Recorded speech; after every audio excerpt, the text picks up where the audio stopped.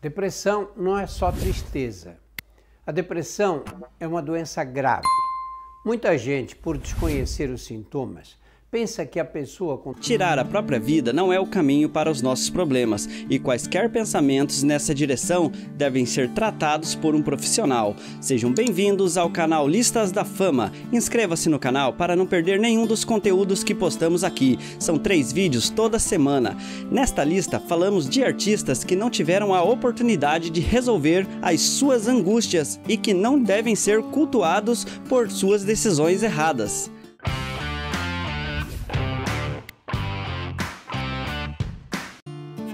Número 1. Leila Lopes. Famosa por suas atuações em novelas da Globo e da Record, Leila Lopes foi encontrada morta no dia 3 de dezembro de 2009, sendo constatado posteriormente que ela sofreu uma parada cardiorrespiratória seguida de morte. Ao lado da famosa foram encontradas embalagens de antidepressivos vazias, além de uma carta escrita por ela e que indicou que ela teria tirado a própria vida.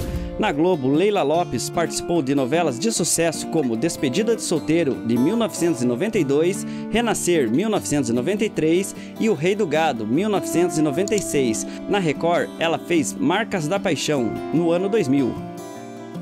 Número 2. Heloísa Faisol Conhecida por levar uma vida de socialite e por uma participação no reality show A Fazenda, da Record, Heloísa Faisol tirou a própria vida em 2017. Ela foi encontrada morta em seu apartamento, que ficava localizado no Rio de Janeiro. A famosa sofria de depressão e teria deixado uma carta de despedida.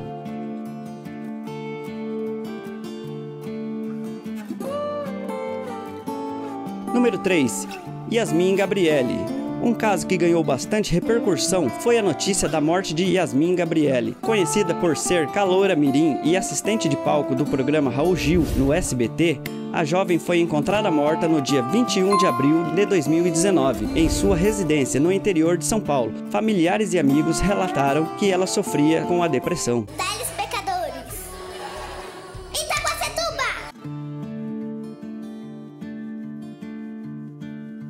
Número 4.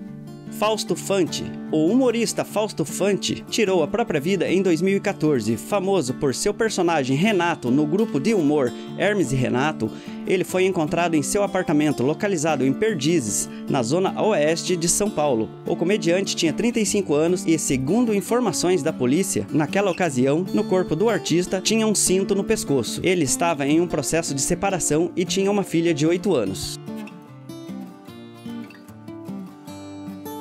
Número 5. Valmor Chagas. Renomado ator no teatro, televisão e cinema, Valmor Chagas tirou a própria vida no ano de 2013, aos 82 anos, em seu sítio no interior de São Paulo. O corpo do ator foi encontrado por um caseiro após ouvir um disparo de arma de fogo. Os motivos que levaram Valmor Chagas a tirar a própria vida teriam relação à solidão e a problemas de saúde.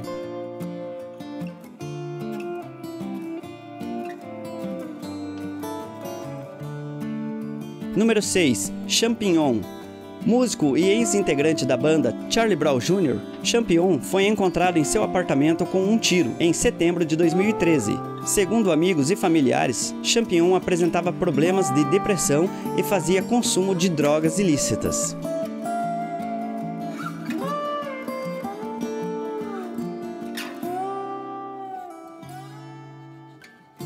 Número 7. Aracle Pérez morreu aos 62 anos.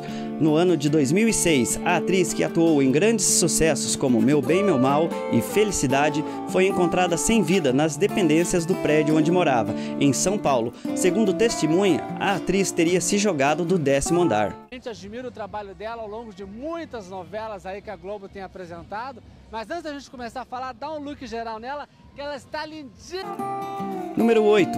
Flávio Migliaccio o ator Flávio Migliaccio tirou a própria vida e deixou uma carta à família em que diz que a humanidade não deu certo. Ele foi encontrado morto em seu sítio na cidade de Rio Bonito, Rio de Janeiro. As informações foram divulgadas pela polícia e publicadas pela revista Fórum.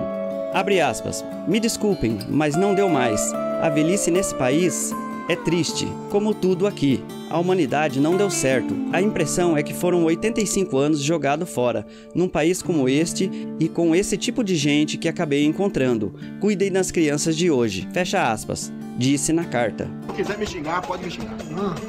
Xalita não vai xingar, Geraldinho. O seu Xalita fica até emocionado com seu gesto. Xalita vai, vai matar, Número 9. Aline Araújo. Aline Araújo era blogueira e dona do Instagram Seja Sincera. A jovem realizou uma cerimônia de casamento sozinha após ter sido abandonada pelo noivo, Orlando Costa, que a avisou em cima da hora que não iria mais ter a cerimônia. Essa situação toda gerou diversas reações na internet e, por fim, a influencer tirou a própria vida, jogando-se do nono andar de um prédio localizado na zona oeste do Rio. Coloca aqueles mil questionamentos.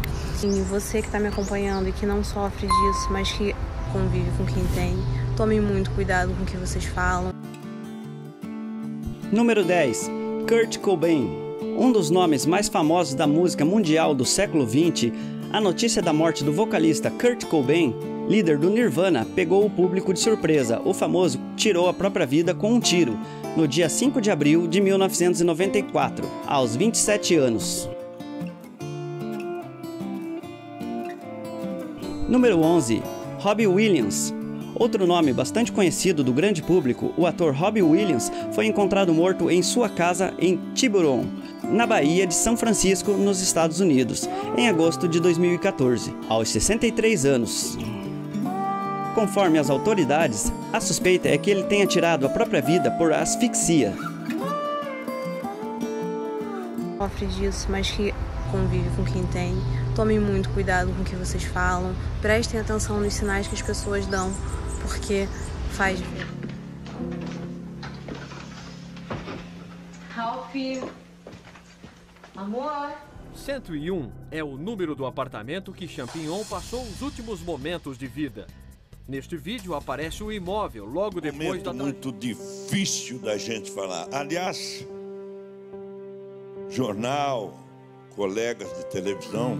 Sou eu que tenho problemas mentais, é isso aí. Não, para de fazer. Não falei nada, Heloísa. Olá, Cristo, querido. Eu não falei nada, meu Por amor. favor, Eu não você nada, saberia meu me amor. E chegamos ao fim de mais um vídeo aqui do canal. Deixe seu like caso tenha gostado do vídeo. Isso ajuda muito o nosso trabalho aqui no YouTube. No vídeo passado, eu fiz uma lista dos famosos que perderam filhos em acidentes de trânsito. Ah, tem outros temas também. E vocês conferem clicando nos links que estão aparecendo em sua tela. Obrigado pela audiência e até o próximo vídeo.